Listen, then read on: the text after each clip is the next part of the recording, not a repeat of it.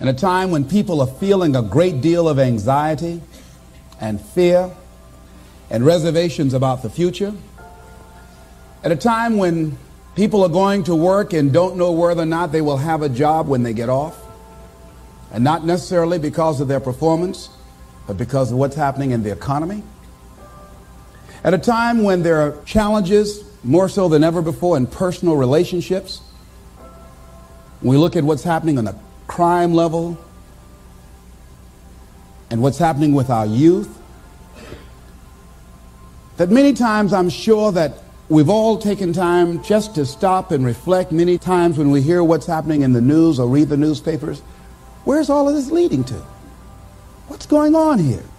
And so I think that now more than ever, we must begin to look at what are the things that we can do that would put us on some firm footing in life that will enable us to do some things and, and use some powers that we have that many of us go through life never ever discovering that we have those things going for us. And part of that, I believe, is knowing what it is your life worth. What is it that gives your life a sense of meaning and purpose? Because once you find that, it puts you in your power place. See, if you know what your life work is, I encourage you to start working on it. If you can't do it all at one time, do just a little bit of it. And if you don't know what it is that you showed up to do, if you don't know why you're here, I encourage you to find out what your purpose is here. What is the meaning of your life? What will be different? Have you ever asked yourself that question? I've done that. I, I remember coming from a friend of mine's funeral and I was reflecting on how much time I had left. And I went for a walk in a park thinking about this guy whose life was so promising. And I mean, he wasn't an old guy, he was quite young, in fact. And I thought about all of the things that he said he was going to do, and he never got a chance to do those things. And I started thinking about my own life and how much time I had left to do the things that I would like to do. And at that time, I wasn't sure what my life purpose was, what my life's work was. I wasn't sure about it at that time. And I thought about it quite a lot. I had some idea, but I, I wasn't convinced, and I don't think I felt worthy. I didn't believe that it could be me to do this kind of work that I'm doing right now. And I say to you that if you begin to take a conscious effort to find out what it is that you're supposed to do, I say that it can literally save your life. I said that it can literally save your life. I was telling a group of people of a study that was conducted. Dr. Larry Dossey, who wrote a book called Recovering the Soul, he said, human beings are the only living species that has achieved the dubious distinction of dying or having a stroke or a heart attack on a certain day. If you ask most people, what would you say the primary cause of why people will have a heart attack or stroke? Many people will say, well, because they smoke cigarettes, or because of high cholesterol, or because of stress, or because of obesity. And all of those things are contributing factors. But, ladies and gentlemen, more heart attacks take place in this country on Monday morning between 8 and 9 a.m. That's when the majority of people who have their first heart attacks have them. 85% of the American public, according to recent studies, are going to jobs that they hate, working on jobs that do not challenge them. They get sick thinking about going. Migraine headaches. After the Sunday afternoon football game or 60 minutes, the anxiety began to build. And come Monday morning, they drop dead of a broken heart. Some of you ought to think about not going to work on Monday.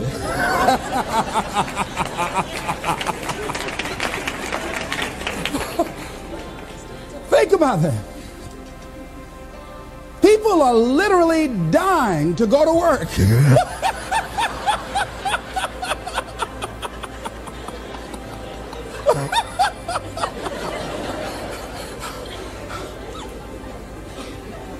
because, see, when you go to a job and, and you already know how far you can go, you can already see that proverbial glass ceiling.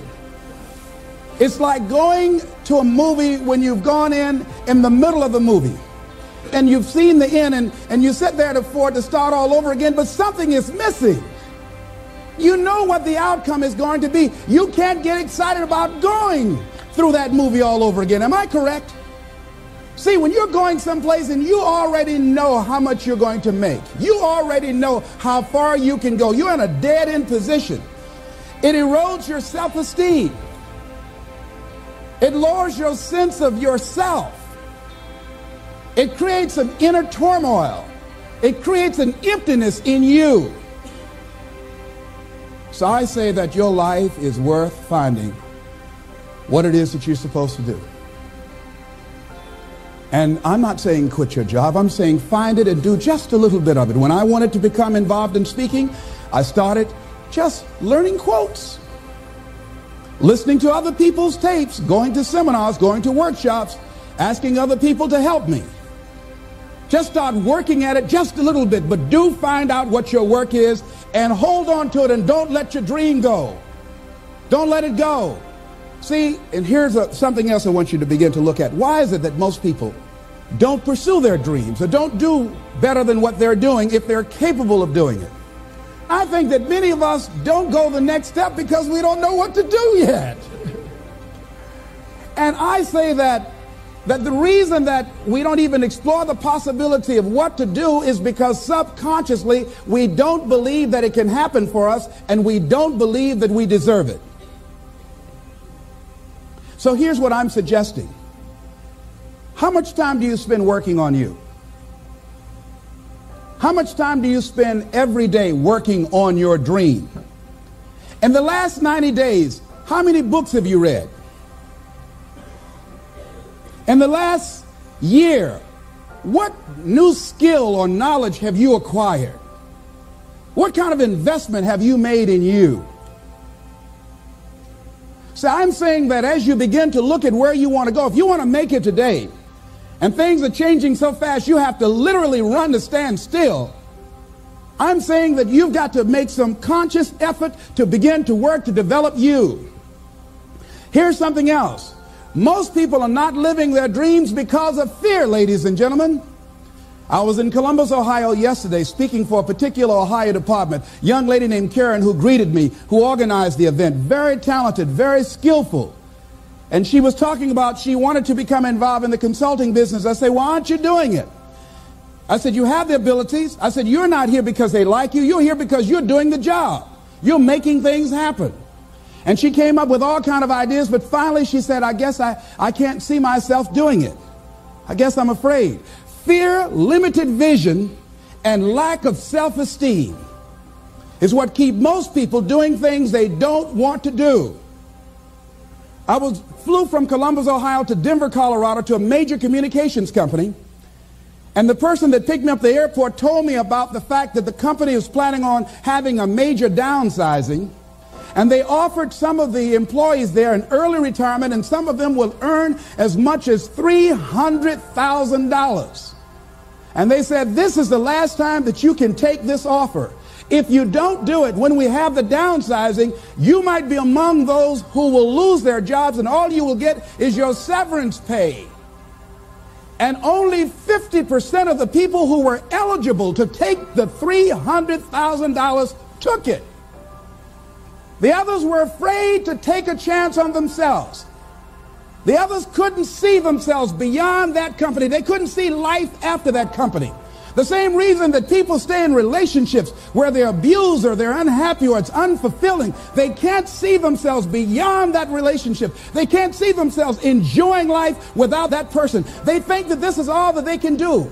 The same reason that people get stuck at a certain level in life. They can't see things being better for them. And they think that this is it and this is all they deserve. This is all they've ever seen. It's been passed on to them. And they think that this is it for them. Oh no. I was looking what Dr. Blanton, Smiley Blanton, who was a colleague of Dr. Norman Vincent Peale, what he said about fear. He said, Fear is the most subtle and destructive of all human diseases. Ladies and gentlemen, fear kills dreams. Fear kills hope. Fear put people in the hospital. Fear can age you. Fear, ladies and gentlemen, can hold you back from doing something that you know within yourself that you're capable of doing, but it will paralyze you. And it seemed like you're in a hypnotic spell. And I ask you a question what is the benefit? What's the benefit of allowing fear to hold you back?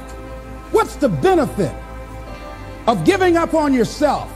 Of not stepping out on life and taking life on? What is the benefit for you? What's the plus in that? It's one of the things I had to ask myself. So I didn't want to make any mistakes. I wanted everybody to like me. I wanted to be perfect the first time I did something. It's not going to happen. You're going to make some mistakes. You're going to hurt some folks' feelings. You're going to create some enemies whenever you decide that you want to begin to take life on. You've got to ask yourself, how long am I going to allow this to hold me back? I like what Zig Ziglar says. He said, fear is false evidence appearing real. That is an illusion that we create in our mind. It is a state of mind that can be changed. So let's look at how we can begin to take some steps to restructure that fear, to begin to expand our visions of ourselves, to begin to increase our self-esteem. Webster said that self-esteem means confidence and satisfaction in oneself. Look at your life right now. Whatever you've done up to this point in time, your life is working. Whatever you have produced, it came out of you as a result of the kind of person that you have become. It's a result of your choices. It's a result of your consciousness. Now you have to ask yourself, are you satisfied with what you have produced? Is this what you want? Would you like for things to be better than this? Do you believe that you deserve better than this? Or are you content? This is it. You don't have to do anything else. That you already resign yourself in life and say, well, I'm happy. I'm not starving like the people in Calcutta. Are you allowing yourself to get off the hook like that? Or do you believe somewhere in the back of your mind or in your heart that there's some other great work for you to do? There's something else that life has for you. And that's why you're here. How do we handle this fear factor? How do we increase our self-esteem? You have to begin to fortify yourself. How do we do that? I believe that you have to begin to consciously monitor your inner conversation and start talking to yourself. Start building yourself up. Sometimes the only good things you will hear about you are the things that you say to you.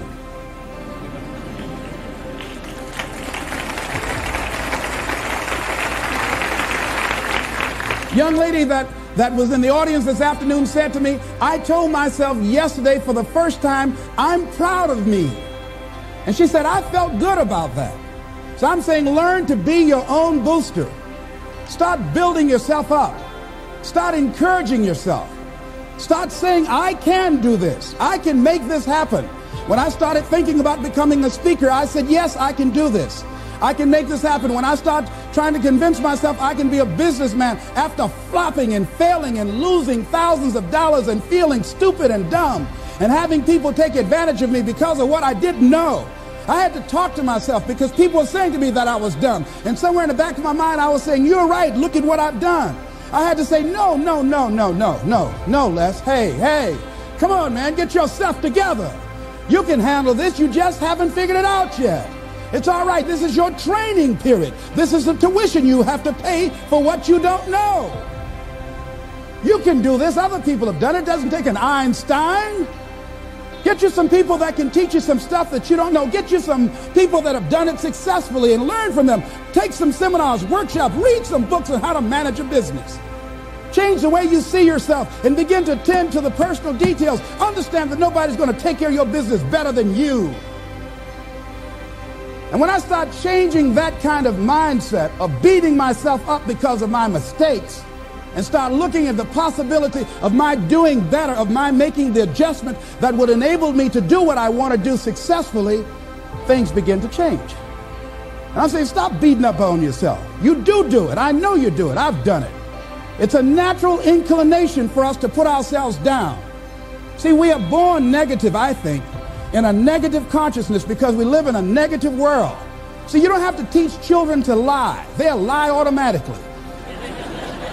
Did you wet in your pants? No, I did not. Well, what is that? I don't know. You don't have to encourage kids to misbehave. They will do it by themselves. You don't have to encourage them to do the wrong thing. They will do it automatically. You have to correct their behavior. So I'm saying that we have to work through the challenges of life in learning how to begin to work to fortify ourselves. Repeat after me, please. I can live my dream. I can, my dream. I can find my purpose in life. And live my purpose. Live my purpose. I deserve more from myself. I deserve more from life. Shake somebody's hand on your right and left and say, You deserve more from life too.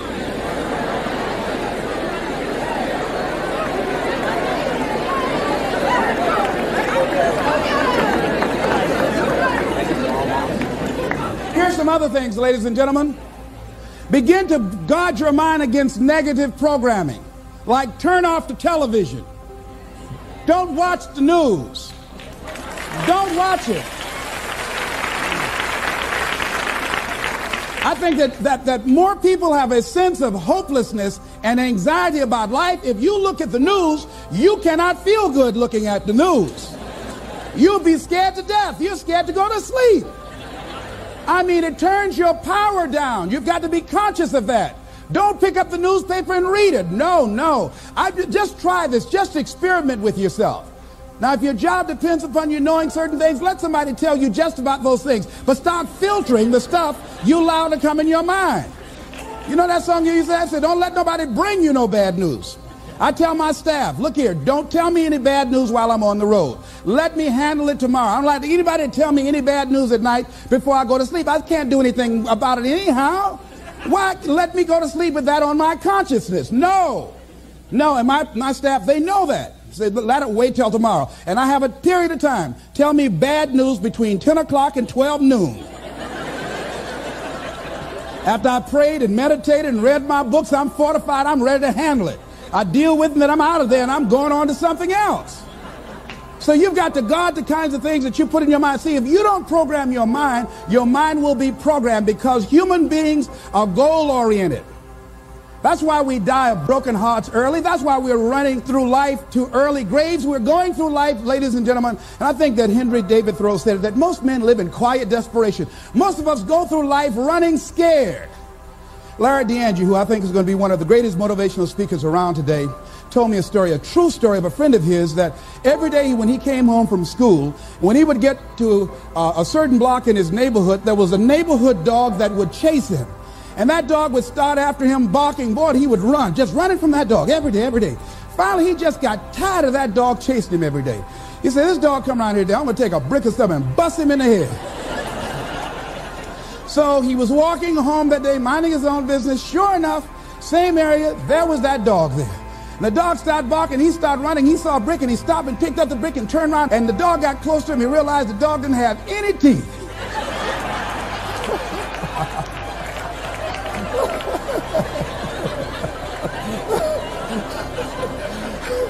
He said he put the brick down. He said, get on out my way. and ladies and gentlemen, all our lives, many of us go through life running from things that ain't got no teeth to do us any harm.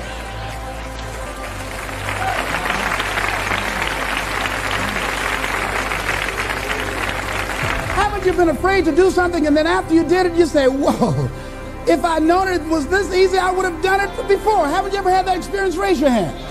Absolutely. So we created this in our minds, false evidence appearing real. We made it real in our minds. That's why Churchill said there's nothing to fear but fear itself. That's the destructive monster. So turn off things that can contribute to your fear. Turn a deaf ear to people that all they can do is talk about how negative things are because they have bought into the consciousness of the world. Start attending workshops, seminars, listening to tapes on a daily basis to begin to recondition your mind, to retrain your thinking. Faith comes by what? hearing and hearing and hearing. Listen to things that can empower you, that can enable you to create a new reality for yourself and a new life for yourself. You might appear to be strange around most people. You know, most people think you're strange if you're happy today. People say, how you doing? I said, better than good. Whoa, what's wrong with him? Just go around smiling and watch people. Look at. Is this a weird guy over here? Because most people don't smile. Watch them. Look at their faces in the morning. Here we go, another Monday morning. How you doing? Haven't had my coffee yet. Don't ask me. See, these people have not found their purpose in life. That's why they're grumpy. That's why they're miserable. That's why they're so negative. They're hurting and they want to hurt other people. So start practicing using programs for your mind. Seminars, books, workshops. Keep a journal. Record your thoughts, what's happening with you. Every day when you get up, have a journal near you. I use a Jack Boland journal so that I can write down my ideas. I keep it by my bed so I can write down my thoughts. See, ladies and gentlemen, we get three to four thoughts a year that if we would act on those thoughts, they could change our life. Don't say, well, I'll, I'll remember that. No, write that thought down. I got a thought today. I wrote down. A friend of mine is in the hospital. His morale is low. They're talking about amputating his foot. He's got to feel very bad. So I said, you know, I'm going to, I'm not only am I going to see him, but I can't be there with him all the time. I said, I'm going to create a tape for him that, that he can listen to that will heighten his level of morale. We told him the other night, don't go to surgery. You are depressed. Your energy level is down. No, no, tell him not now. Don't do it now. In fact, most doctors who have any sense of awareness don't perform surgery on patients that are in a state of fear, that don't think they will make it. They wait till they're in a different state of mind. So I said, what about making tapes for people that are facing physical challenges? I said, that's a good idea. All right?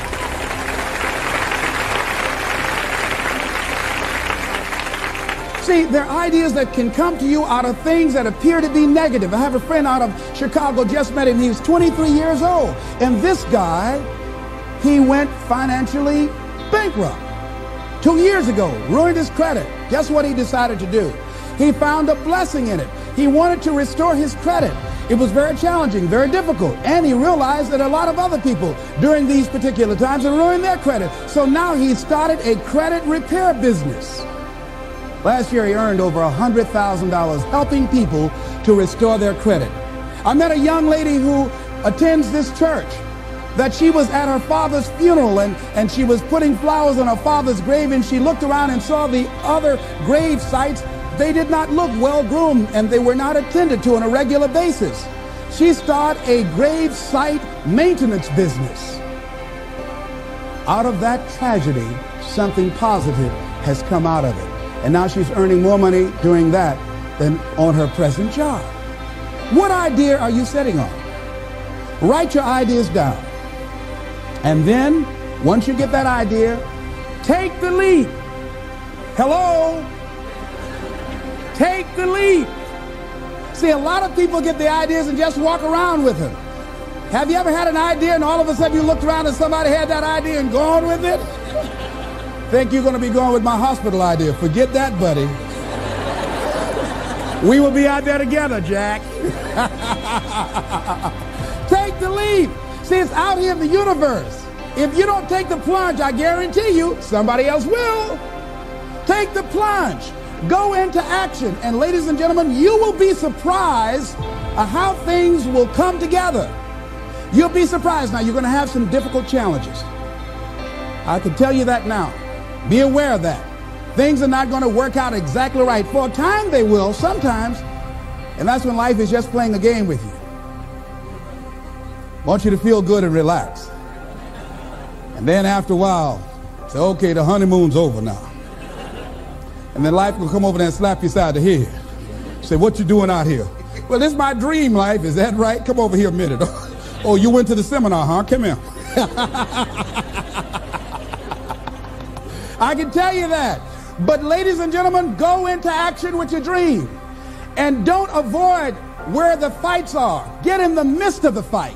And get some hickeys on your head. Get knocked down so you can learn how to fight so you can hold your position. See, most people don't get out in the arena of life because they don't want to fight. Most people don't get out there because they don't want to get knocked down. They don't want to be dropped to their knees. But see, you're going to be dropped whether you're on the field or whether or not you're sitting on the sidelines. You're going to be dropped. So at least get dropped for something. Don't get knocked down while you're sitting down. See, that's how most people are spectators in life. You don't want to be a spectator. You want to get out in the field where the action is, and you will be amazed. After the struggle, there will be a calm period, and things will begin to click for you. Come out here with what you got. You don't have enough money? Don't worry about it. You got the dream. You got the idea. You don't have enough resources? Don't worry about it. You need some help? Don't worry about it. You get out here in the arena, someone will look at you and become inspired and say, Hey, can I help you? But if you're sitting up on the bleachers, nobody's going to ask you anything.